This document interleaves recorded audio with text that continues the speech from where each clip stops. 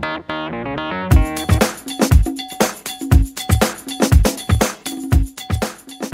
my name is Chris Skordal with KAISERComm on another Technology Spotlight. Today we'll be highlighting the ease of adding another employee to your Avaya IP Office phone system. Okay, uh, right now we are logged on to the computer that has our Avaya Manager software for IP Office. So I simply double click the Manager program. Takes just a couple seconds for it to open up.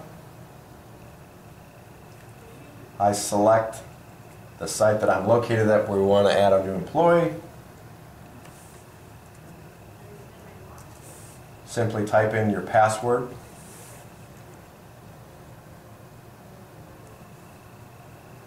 This will open up the management interface. All we need to do is click on User. We can actually sort the different extensions inside of our office, see what is to see what is available. Uh, I see that 662 is available. All I need to do here, there's many different ways to go about it. The easiest way I found, simply right click inside the user pane, click new.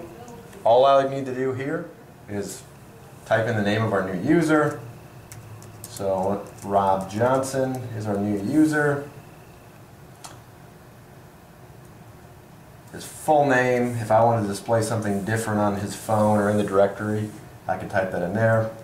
The extension, again, 662. Now I'm scrolling down because when we initially installed our phone system, our installation tech from KAISERComm uh, set up a default user profile. So KCOM default is our user profile. From there I simply hit OK. It asks which type of extension, if it's a IP extension, we would select H323 and hit OK. There's our new user. Uh, the only other thing we can add is if that user is having would like to use voicemail to email. In this case, I would simply R Johnson at kaisercom.net. I can set the different profiles for the voicemail to email, whether he wants a copy, forward, alert. In this case, I can turn on unified messaging and hit OK. From there, we just want to save this file. I click the purple Save Disk at the top left-hand corner of our management.